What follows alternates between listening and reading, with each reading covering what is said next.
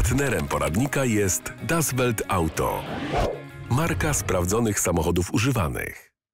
Witam w premierowym odcinku programu dla zainteresowanych zakupem auto używanego. Program realizujemy wspólnie ze specami od aut używanych, czyli Das Welt Auto, którzy udostępnili nam auto ze swojej oferty do tego i innych nagrań. Zakup auta używanego nie jest tak prosty jak w przypadku auta nowego z salonu. Auta używane mają różne historie, stan techniczny czy przebieg, a za każdym z tych aspektów może kryć się mroczna tajemnica. Jak ustrzec się błędów i na co zwrócić uwagę, o tym wszystkim będę mówił w kilku odcinkach tej serii. Dzisiaj pierwszy z nich. Na co zwrócić uwagę przy zakupie? Zwyczajnie, jak nie dać się oszukać, ale też jak nie paść ofiarą własnych marzeń o zakupie idealnego samochodu w okazyjnej cenie. Zapraszam. Na wstępie zakładam, że oglądaliście moje wideotesty i już macie wybrany model, który odpowiada Waszym oczekiwaniom. To jest jeden z najtrudniejszych kroków, więc możecie uznać, że teraz już jest z górki. Otóż nie. Na początek, zawsze pamiętajmy o odpowiednim nastawieniu. Jeśli będziemy zbyt podekscytowani, będziemy zgubieni. Do każdego ogłoszenia należy podchodzić z rezerwą, bo pisał go ktoś, komu zależy na sprzedaniu auta, więc opisze go od najlepszej strony, a naszym zadaniem jest zobaczyć więcej. Podobnie z pośpiechem. Nie szukajmy samochodu na szybko i nie dajmy się popędzać handlarzom, którzy mówią, że jest wielkie zainteresowanie i że pięć osób już pędzi do auta z gotówką w ręce. Nie ten, to inny. Rynek samochodów używanych jest bardzo bogaty i jest w czym wybierać. Potrzeba tylko czasu, żeby trafić na odpowiednią ofertę. Jak ją znaleźć? Zacznijmy od sprawdzenia oferty, zanim zobaczymy auto na żywo. Należy uważać na samochody ze zbyt niską ceną, zastanawiać się nad tymi ze zbyt wysoką, porównywać oferty podobnych modeli. Właściciele samochodów kupionych w polskim salonie są panami sytuacji, dlatego że sprzedawanych przez nich pojazd najczęściej ma pełną, udokumentowaną historię. W przypadku aut sprowadzonych z zachodu bywa z tym różnie. Jeśli takie auto ma wyjątkowo atrakcyjną cenę, dobrze jest sprawdzić, jak rysują się ceny na zachodzie. Wystarczy wejść na zagraniczny serwis aukcyjny, niektóre z nich są nawet przetłumaczone na język polski, i sprawdzić ceny podobnego auta. Przeliczamy je na złotówki po aktualnym kursie, kalkulujemy polską cenę z akcyzą i VAT-em i w ten sposób sprawdzimy, czy faktycznie samochody, którymi się interesujemy, mogą tyle kosztować bez VAT podatkowych czy prawnych i oczywiście w dobrym stanie i z pewną historią. Historia jest istotna, bo samochody są budowane tak, aby zapewnić pasażerom bezpieczeństwo w poważnym wypadku. Nie kilku wypadkach, jednym. Nawet jeśli samochód poskładał jakiś magik i wygląda jak nowe, to w następnym poważnym wypadku nie będzie równie bezpieczny. Oczywiście wypadki są różne, ale lepiej wiedzieć, jak ciężkie to było uszkodzenie. Dlatego jeśli kupujemy taki samochód świadomie, to powinniśmy przynajmniej wiedzieć, jak wyglądał przed naprawą.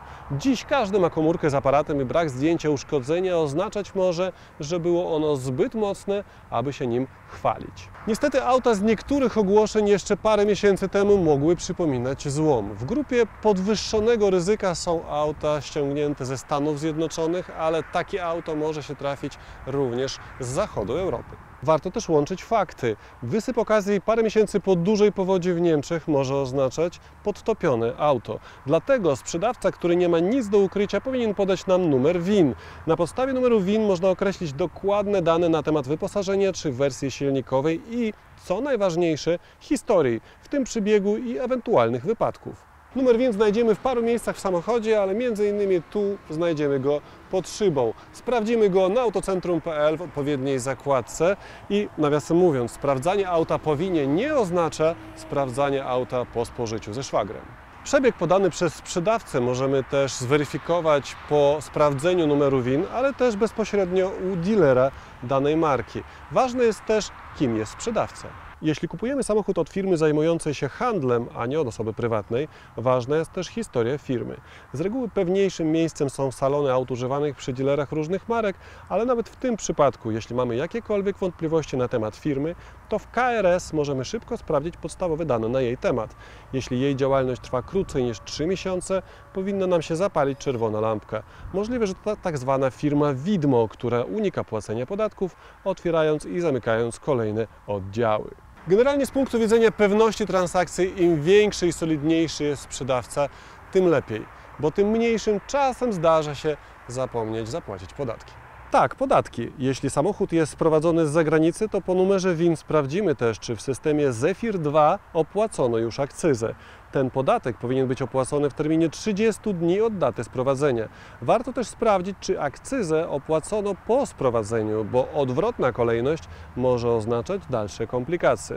Sprowadzone auta muszą też mieć opłacony podatek VAT. A kiedy sprawdziliśmy już samochód po numerze WIN i nie wisi nad nami widmo kontroli z urzędu skarbowego lub celnego, możemy pojechać i obejrzeć samochód.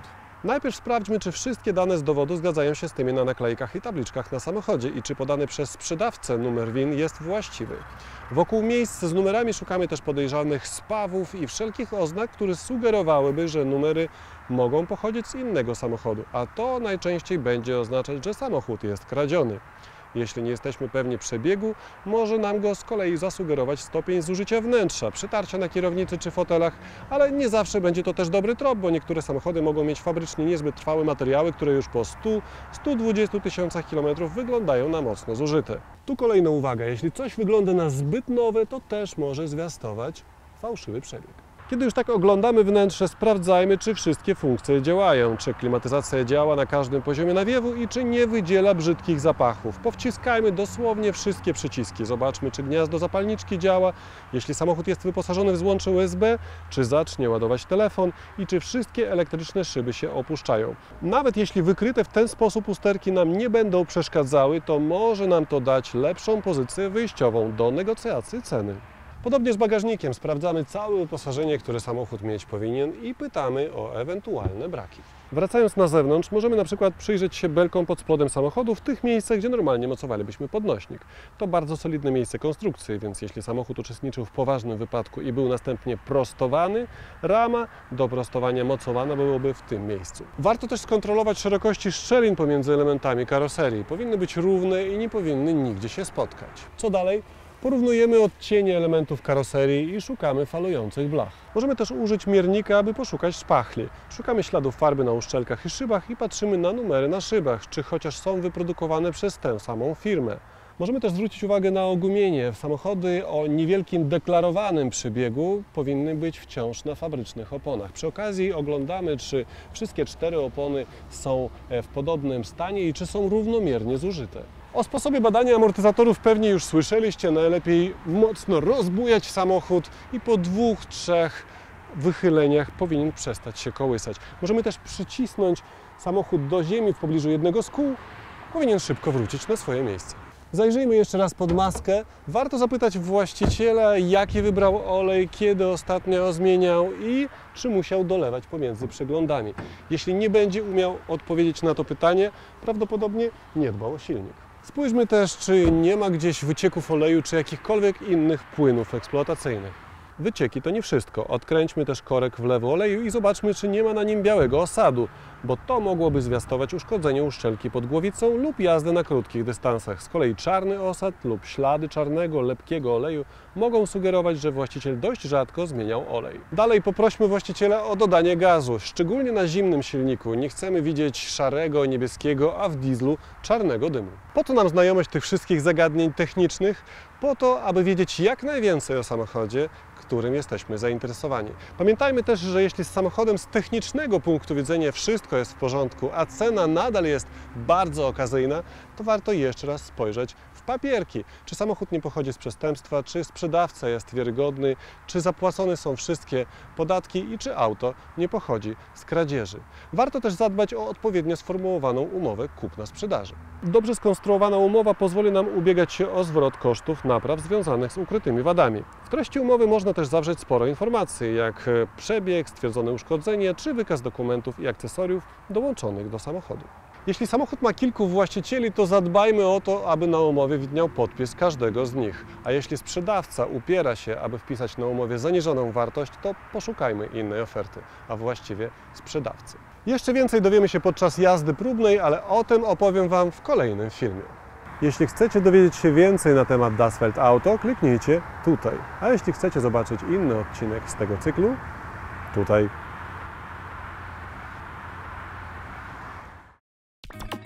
Partnerem poradnika jest Das Welt Auto.